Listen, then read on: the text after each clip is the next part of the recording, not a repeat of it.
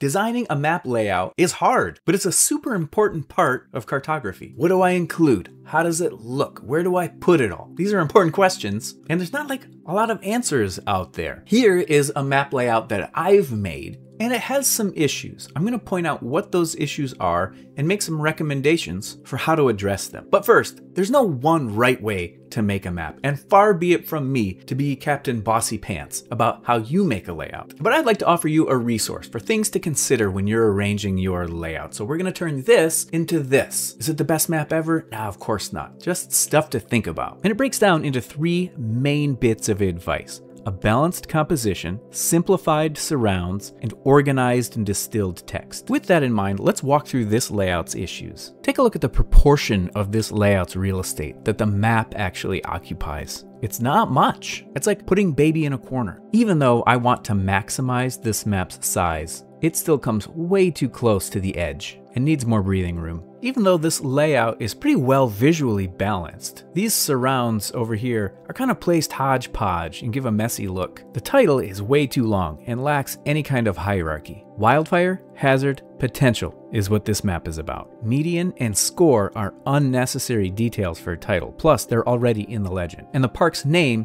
is context, suitable for a subtitle. I would argue that this is way too much text for a layout. Almost nobody will read it in this format. Walls of copy like this are more appropriate for the accompanying text handout that might come along with this map, or paragraphs in a story map, or a website that this refers to. But in general, a good layout does more showing and less saying. Speaking of text, here's more. Okay, fine. But instead of creating a scavenger hunt for information, just put it into context. It can be tricky, but if you've got room for it, integrate text with visuals. These automatically added attributions are redundant and could be formatted better, and these projection parameters just don't belong. My mom always told me to sign my work, and she was right, but this wording is a little clunky. I count one, two, three neat lines before we even hit map. It's really easy to get sucked into too many neat lines. But we don't need this one, we don't need this one, and I would argue we don't need this one or this one, or this one, or this one, or this one. Whew. This overview map provides useful context for where this park is located in the United States. But everything about it screams default. Because it's just using a vector base map, we don't have any control over the placement or existence of labels, and so we just get an awkward America! It's a missed chance at making something crispy and simple and cool. You've been waiting for it, and here it is, the legend. This is just me dropping in the legend by default. Boom. But the legend doesn't need to announce itself as a legend. Because the park boundary is effectively all I'm seeing in the map, I don't need to include it in the legend either. It's obvious. My hexagon layer has both its layer name and its styled attribute. I don't need both of those. And come to think of it, it's showing rectangles, even though all of my shapes are hexagons. There's no way for it to really know that, but maybe I can do something with this. Lastly, what's worse, one or five? I'm guessing five, but as a reader, I'm not totally sure about that. I'll add some qualitative information here. The scale bar is reasonable. It's got whole number increments with logical breaks. I don't think the redundant scale statement is necessary, but if you like it, more power to you. Take a look at that north arrow though. It's one of the more ornate options and it's way too big. How big is too big? If you cover it with your thumb and you can still see it, it's too big. But what about this photograph? It helps contextualize a place with imagery. I know, I get it, but I feel similarly as I do with big walls of text. They likely belong elsewhere. Unless you're very artful about inserting it into the composition, but just dropping it in as a rectangular element probably won't work. Woo! Review over. We've done it. That had a lot of issues, but now we're going to rebuild this layout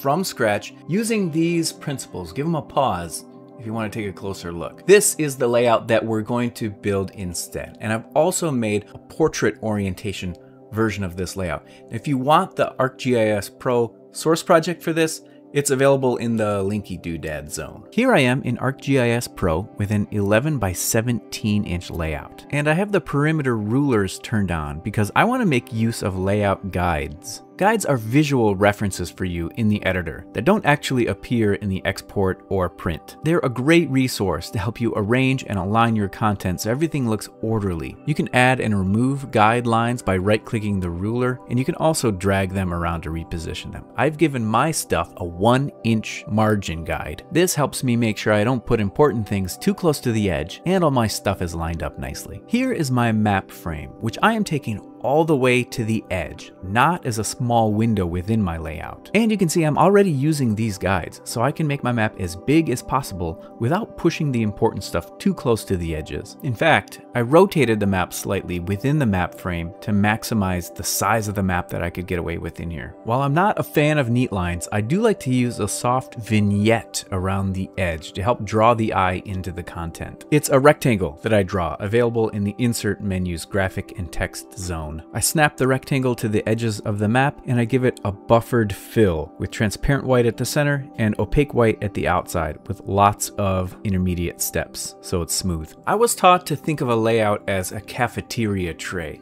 You have your tray, and as you put items on the tray, you have to make sure that it stays balanced, or else everything will fall down. This natural void in the map is the perfect place to add some of our visually heavier map surrounds to help lend visual balance to the overall layout. To clear out some visual space, I'm going to add another rectangle, but this time I'm going to reverse the gradient so that the inside is more opaque and the outside is transparent. It's a great setting for a title. Now a title should be just a handful of words. You can see it from across the room and you know what it's about. Secondary information, like the map's location, can be used to prefix the title, but it's tier 2 content and should visually look tier 2. I've included information about the data's source as a subtitle because I thought it was important, but subtitles are visually reduced. I've used font size and font color to do that. And lastly, I like to make all the elements of a title visually coherent by making them all the same width. You can do that by using letter spacing or font size. In our original layout, remember that automatic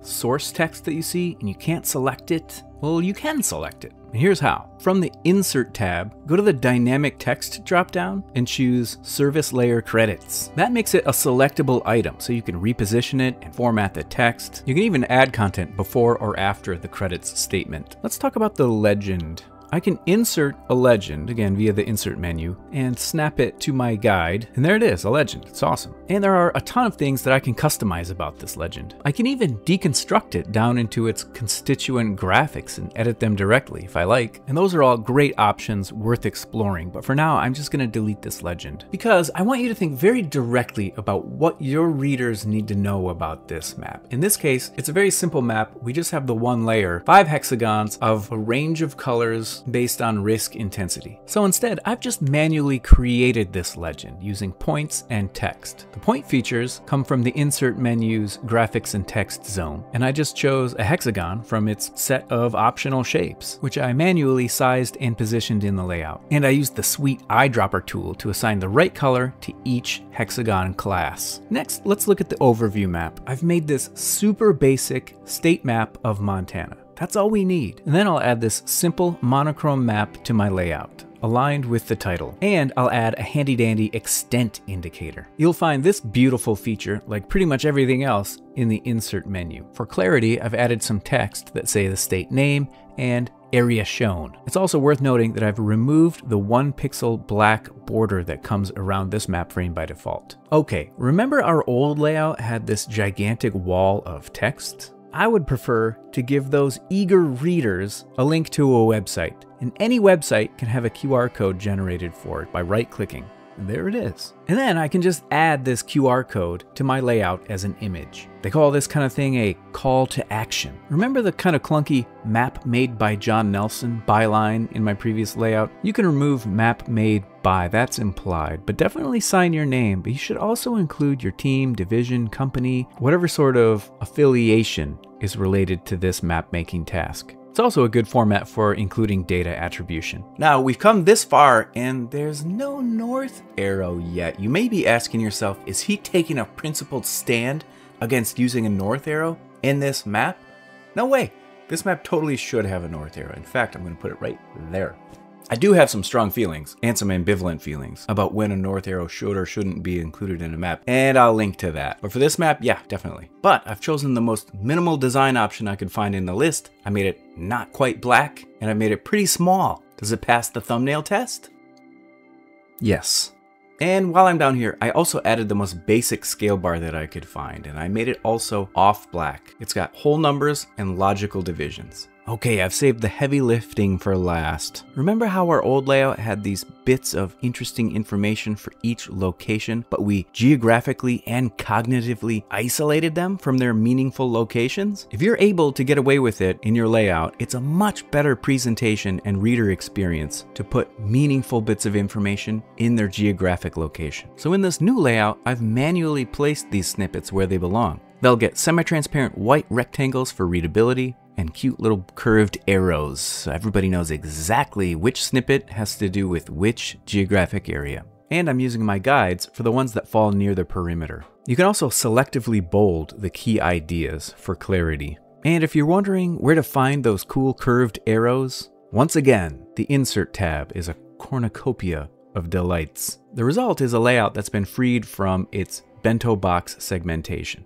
The map is king, the surrounds have been considered and clarified, the information has a visual hierarchy, and it's geographically contextualized. And these concepts work for landscape or portrait orientation. Here are those recommendations again. I invite you to give them a look, make your map your own, have fun with layouts, and feel free to download this ArcGIS Pro source project and kick it around. Thanks for watching.